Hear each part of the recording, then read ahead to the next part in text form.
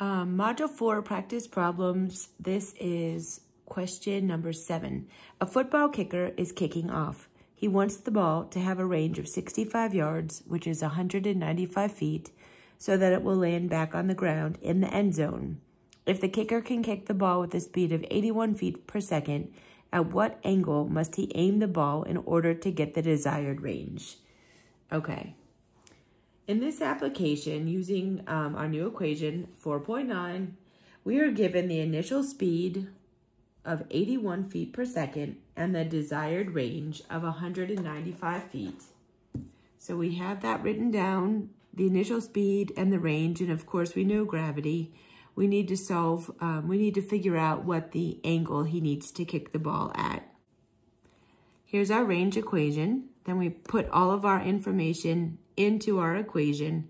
We have to rearrange the equation to solve for theta or 2, uh, sine of 2 theta.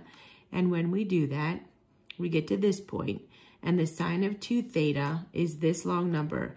I only did these steps and I wrote this number exactly as it was displayed from the calculator just to make sure everybody was okay using their calculators up until this point.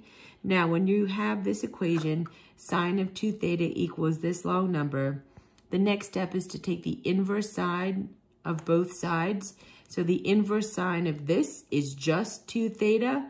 The inverse sine of this is 72.0033 which then has too many significant figures, so we get 2 theta equals 72.